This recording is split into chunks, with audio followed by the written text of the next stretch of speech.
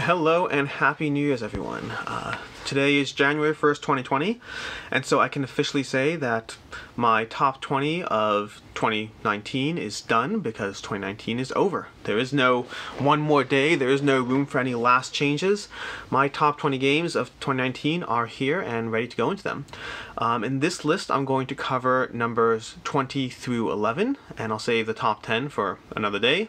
Uh, the reason 20 is pretty simple. Um, I had too many games for a top 10, too many games that I felt were worthy of mentioning, of really going into a little more detail, and yet I have nowhere near enough games that I care about to really do a top 100, a top 50, a top 40, whatever it is. Um, I have a good probably 40 to 50 games I really love, but to really go into them, I just figured 20 was a good number that I'll start off with this year, and we'll see how the years progress. Honestly, 2019 has been the best year of gaming for me probably since 2012 when I first got into the hobby. In terms of the sheer amount of amazing games that have come out, games that have entered my top games, uh, 2019 has just been an incredible year. I'd have a hard time picking any other year that beats 2019, except for, like I said, 2012. Um, not that I really got all those games from 2012, but the games I played that were from 2012 that I've really enjoyed, 2019 kicks 2012 out of the water for me. In any case, uh, with that, that, that said, let's start going through them. To begin with, we have Arena the Contest, which is a bigger box than I thought when I grabbed this off the floor. Um, Arena the Contest is incredible. Um, I fully expect Arena the Contest to go up from 20 to something a little higher as I finish the campaign. Um, it is a it, it's technically a PvP head-to-head game. I have a full video about it. I have a write-up about it. Um, but it's where it shines, at least for me, is the co-op gameplay. It's it's a lot of fun. It's simple. It's it's deep in what you can do and the amount of different things you could do, while I can teach you and get you up and running in 10 minutes or less. Um, it is fun. It is engaging. It's basically the I mean, ultimately what I'm looking for in a game is fun. Arena of the Contest delivers that in spades. As I go through the campaign, I am fairly certain it will continue to rise. Next year, I, I don't know if it'll hit the top 10. There's a lot of competition for that, but I wouldn't be surprised if it gets very close. Uh, you know, 12 or 13. If I have to predict, I'd probably say around 12 or 13 at the end of 2020, but we'll see. Um, next from there, we have Tigris and Euphrates. Tigris and Euphrates is as different from any of the contests as you can get. It is, uh, you know, it's a Euro game by Reiner Knizia. It is incredibly tight. It's from, actually, I wonder if it's from 2012. I don't actually know. Um, I will have to look into that. But any case, looks like 2014, but I'm not sure. Anyways, uh, Tigris and Euphrates is a great, great game. It's probably, well, I mean, I think it is because my top 20. Um, it's my favorite Reiner Knizia game. It's, it's incredibly incredibly tactical incredibly engaging. It's tight. Every decision matters. Ultimately it's a scoring system where you just have to get the most in four different uh, colors effectively of getting the most uh, whoever your lowest score in a color is your score. So you try to want to be well spread and div divide your your strengths evenly amongst the board and the playing. But it's incredible. It, the the level uh, of tenseness and decision making that you can get from such a simple rule set, uh, it, it's hands down Reiner Knizia's favorite game for me. Number 17, we have, oh, 18, 18, I skipped one. Number 18, we have Monikers. Uh, this is the only part, that's not true. This is one of two party games to hit this list. Um, it, it's it's harder for me to get those lighter family games or those party games into a top 20 list because they tend to be a lot of fun, but they rarely give me that that sheer enjoyment that I the, the, the loving the, the overwhelming feelings and lack of words that I can have for certain games, party games don't do that for me. Uh, but Monikers does. Monikers is incredible. Every single time you play it, this is if you have to pick a single party game that is accessible, your friends don't touch games, they, they look at you strangely every time you mention a game, grab Monikers. You can teach it in a few minutes. You can display it by just going through the cards. Basically, there's three rounds to the game. You have a bunch of cards that are in play. The first round, everyone can say whatever they want. You know, if you're talking about, I don't know, Tigris and Euphrates, uh, you can say the game by Reiner Knizia, we have to score multiple systems. It's on, you know, Alex's number 19 game, whatever you want to say. You can literally say anything you want. In round two, you get to say one word. Knizia, Tigris. Uh, in round three, you have to act it out. I don't even know how to act out Tigris and Euphrates. Um, I don't know. Either way. But rounds one, you say whatever you want. Round two, you say a word. Round three, it's charades. This game is hilarious. Every single time you play it, you'll have your own little mini meta game that's inspired by the game. You'll have someone yelling a random word that has nothing to do with a card because last round someone yelled that word. It, it is it is hilarious. And my only complaint about it is you really need at least six, and honestly, I recommend eight. Um, and it's hard for me to get that to the table, but when you have a large gathering of any kind and half of them aren't gamers, pull out monikers. They will reevaluate every single thought they ever had about you and board games. Number 17, for my second party game, we have One Night Ultimate Werewolf. Um, with the Daybreak expansion, there are a whole bunch in this genre. We have them up here.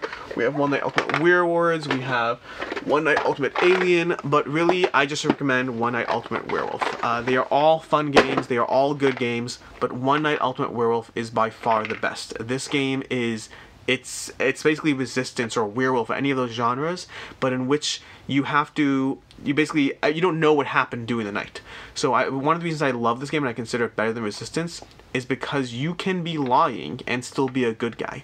And that takes a lot of the pressure off of lying. A lot of people walk into a game of resistance, they don't lie very well, they don't have to bluff yet, they haven't established that, and the tenseness can really ruin the experience for those people. I always start off by explaining to people, you can be lying in this game and you are still a good guy. It does not matter if you get caught in a lie.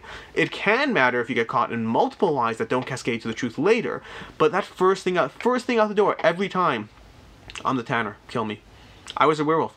You, you, can say whatever you want. It doesn't matter, and people know that.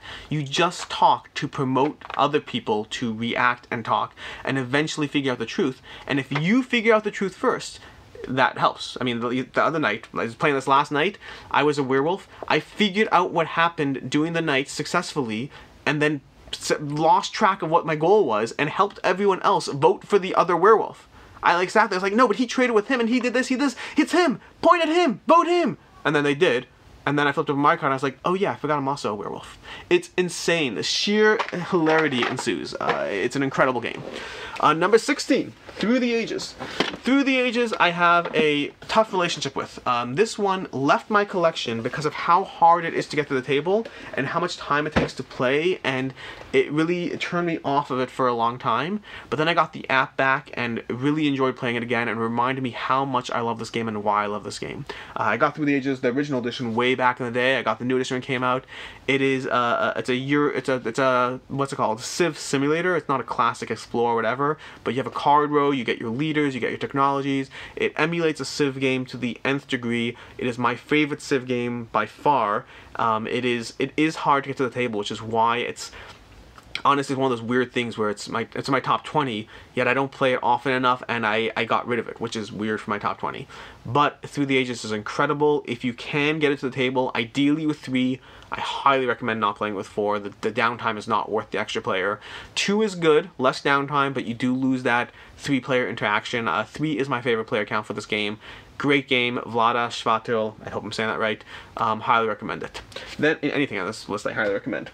Number 15, we have Brass. Um, I never played the original Brass. I did play uh, the replacement game, which I'm blanking on now.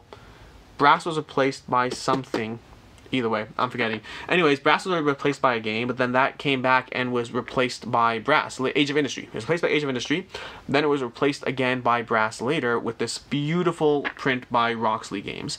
Uh, Roxley always does good stuff in terms of the sheer quality of the components. This is by far my favorite game from Roxley. Uh, the, the, the, the art is gorgeous, the, the iron clays are amazing, everything in this game is well done. It makes you feel like you're playing a premium experience around an incredibly premium game. Uh, this is my favorite Martin Wallace design. I love many of his games. I love uh, a few Acres of Snow. I love Steam. There's many Martin Wallace games I love. I only end up keeping so many because of limited time to play games. And Brass is my favorite Martin Wallace.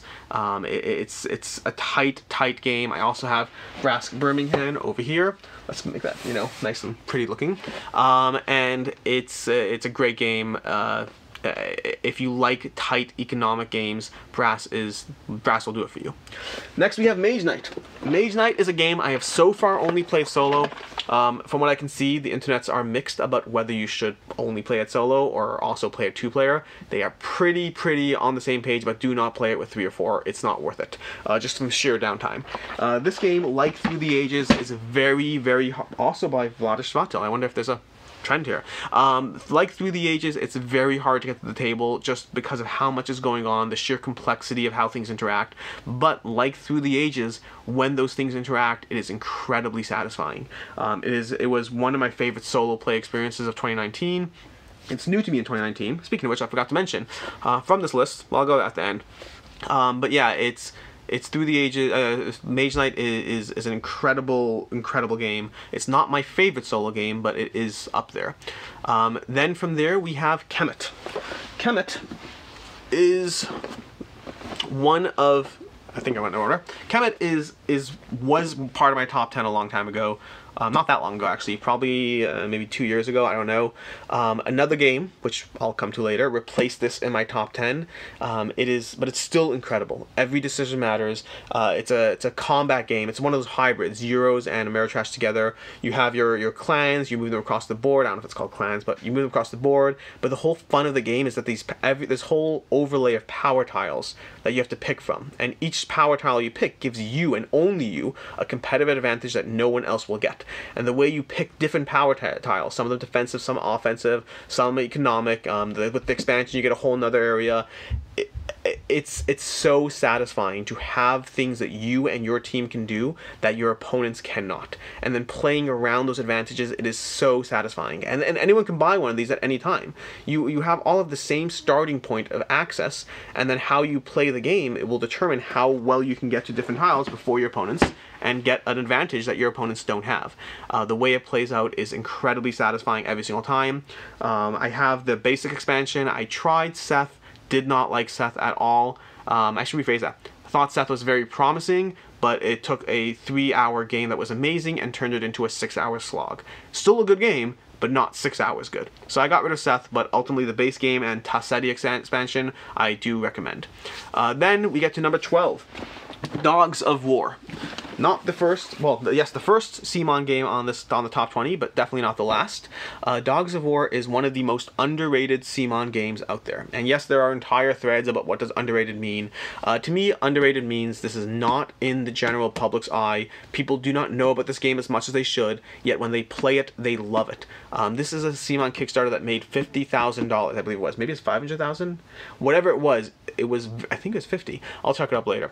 It was low. It was the possible possibly one of the lowest CMON Kickstarters to date. I didn't, I wasn't even on the Kickstarter bandwagon at that point, but when I finally got this to the table, I was blown away. It is, it is, uh, the players are investing in different armies and different conflicts, and the gameplay is so tight and it's so engaging, and it plays in uh, uh, generally an hour and a half maybe two hours. It, it is incredibly rewarding for the experience it provides. It's all about investing in different forces and trying to, uh, you know, get the most stake in those forces to you know you'll you'll invest in one house and fight for that house. Meanwhile you'll fight for the other house. Someone else might invest in no houses and just focus on getting points straight off the board.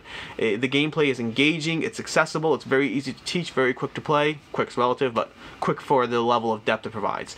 And that is number uh, 12 and finally for my top 10 number 11 we have terraforming mars and the giant lot of cards and expansions that are in this box. Terraforming Mars is amazing. Um, most of the time when I get, these games enter the public's eye, I tend to ignore them for a year or so to see if... tend to. Sometimes I get caught up. Um, I tend to ignore them for a year or so to see if they really last. Uh, Gloomhaven I didn't touch until two years in or something like that. Uh, Terraforming Mars I didn't touch for at least a year. Uh, Mage Knight, it's been forever. I like to wait to see if a game settles, to see if that score is really that score or if that score is just a temporary hype around the game. Terraforming Mars lived up to every bit of hype. It is a it's a card play game. It's all about the card play. I only ever play it with the drafting mechanic because I love drafting. Drafting is one of my favorite mechanisms in a game. It means that every decision is tough, every decision is tense, every decision is is fraught with the risk of both what you're taking and what you're handing to your opponent. Uh, Terraforming Mars escalates that tension by making you pay for every card you keep. So you want all those cards you drafted, but you if you pay for them, you might not be able to play them as often as fast. You have to frequently choose between being able to play the best cards or having all the good cards but not being able to play as much as you want. And it makes every decision so tense, so meaningful, so impactful. I have every single expansion with it. If you had to pick one expansion, I recommend uh, Prelude the most. Prelude is my favorite expansion. It, it, it the, the, drafting adds time to the game, and the Prelude compensates for that by giving everyone a head start. Um, I like all the expansions though. Um, I'm not sure I haven't played with all of them. I like all the expansions I've played though. But Terraforming Mars plus Prelude are the main ones I'd recommend if you're trying to get into it. Um, ultimately, that's my top 11. From my top 11, the ones that are new to me this year are number 20, Arena the Contest is new to me this year. Uh, number 15, Nebraska's old. Uh, Mage Knight is Mage Knight is no, new to me this year. I've been trying to get to the table for years. Uh, I think it's left my collection three times before I finally got to the table but I really enjoy it.